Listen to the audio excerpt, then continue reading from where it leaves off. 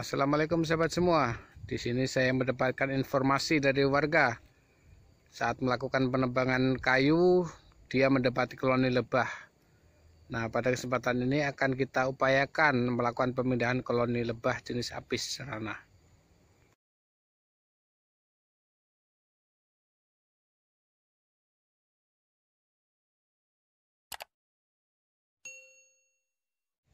Kotak yang telah saya persiapkan.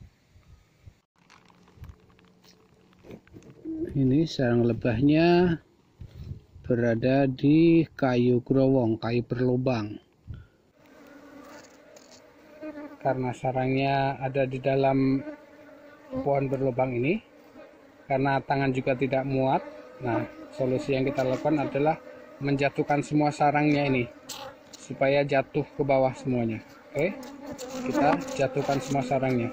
Nanti sarangnya ini kita ambil dari bawah nah udah jatuh sarangnya ambil dari bawah satu. Persatu ambil sarangnya Oke, kita ambil lagi sarangnya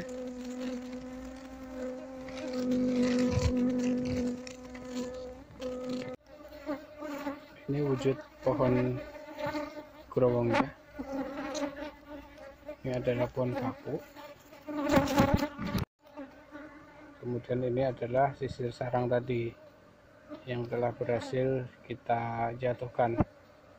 Kemudian kita ambil sisir sarangnya ini. Sahabat semua posisi keberadaan saya ada di tengah kebun tidak membawa korek sehingga menyulitkan saya di dalam melakukan pengasapan. Kita coba melakukan penutupan terhadap sarangnya ini dengan harapan koloni lebah yang masih berada di dalamnya itu akan naik ke atas dan bergerombol di dalam kotak. Ini akan saya tengkurapkan di dalam lubang pohon kapuk. Saya tutup seperti ini dengan harapan koloni lebah yang berada di dalamnya mau keluar dan bergerombol di dalam box kotak yang saya siapkan ini.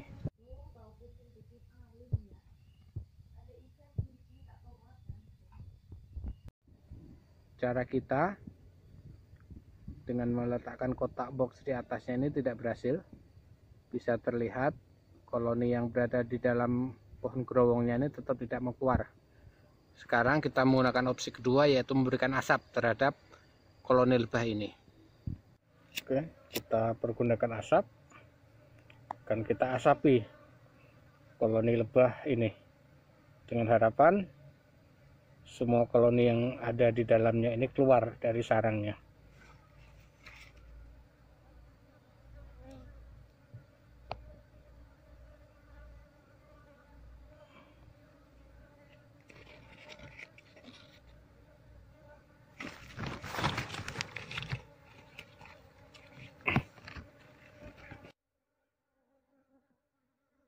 berikan asap terhadap lubang kayu kurowong ini. Sobat semua koloninya yang semula berada di dalam kayu sekarang sudah mulai naik. Kita mengamati keberadaan sang ratu. Mudah-mudahan ratunya ini kita temukan sehingga pemindahan koloninya ini berhasil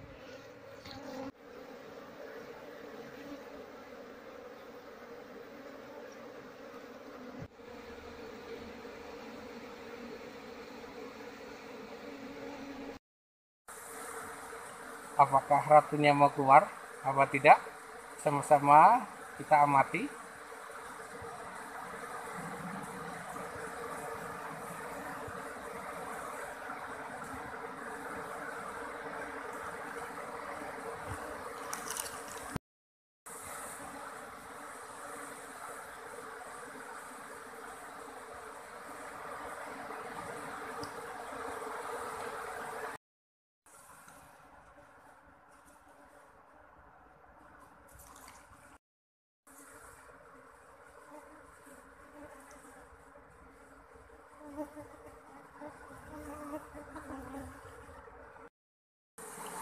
ini bisa diamati sebagian lebah pekerja ini dia mengepakkan sayapnya dia bermaksud agar asap yang keluar dari dalam ini tidak mengenai atau berbalik arah sehingga tidak mengenai terhadap koloni lebah ini. Inilah kehebatan lebah, dia patuh dan tunduk terhadap instruksi daripada ratu.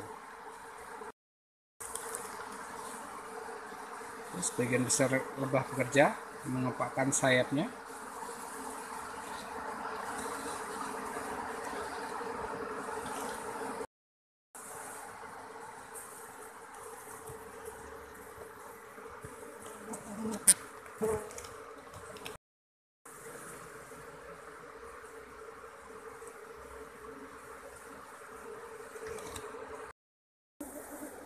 asapnya sudah sangat pekat namun saya belum juga mendapatkan keberadaan sang ratu lebah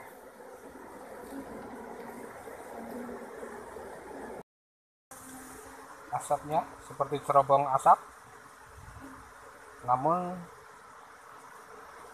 tak juga menimbulkan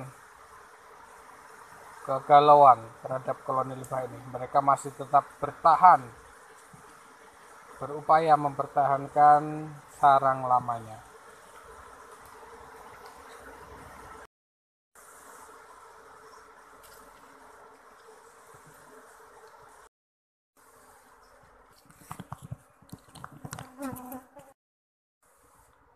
Asapnya ini sudah sangat luar biasa pekatnya.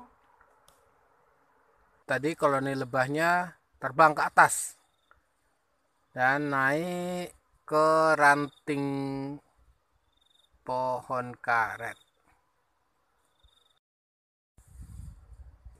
Saya tidak memaksakan mengambil koloni lebah ini karena waktunya sudah menjelang waktu maghrib. Oke sahabat semua, terima kasih sudah setia mengikuti channel Majen 009. Misi kita berburu lebah tidak berhasil memindahkannya. Sampai lagi di kesempatan. Assalamualaikum warahmatullahi wabarakatuh.